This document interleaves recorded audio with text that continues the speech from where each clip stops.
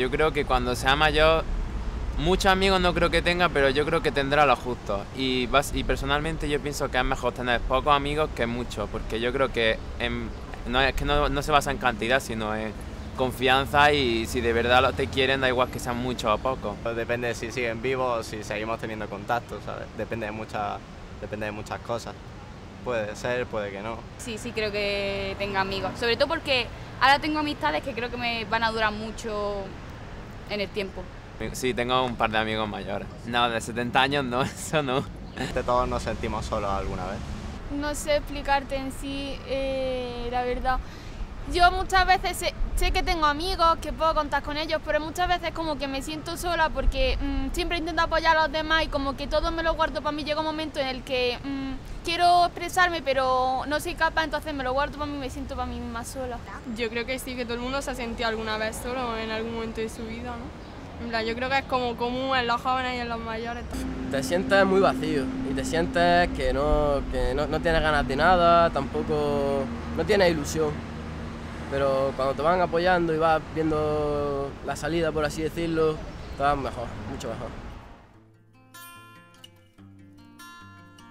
La soledad no deseada en las personas mayores es la experiencia vivida por la persona ante la ausencia de relaciones con los demás o con el entorno que siente que no son gratificantes o plenas y eso le genera pesar.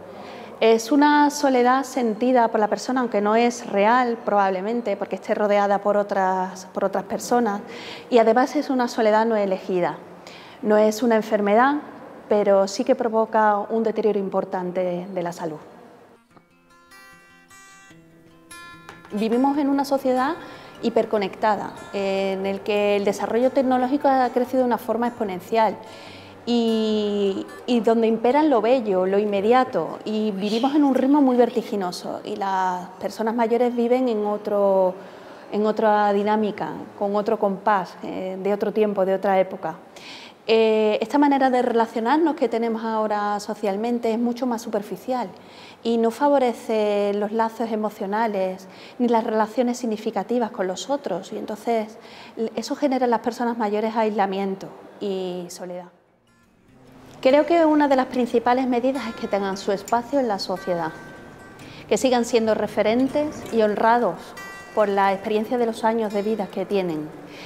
Eh, sentirse escuchado es la mejor manera que tiene una persona de sentirse reconocido y creo que esta es la mejor y mayor medida que podemos hacer con nuestras personas mayores para mejorar su calidad de vida y su salud.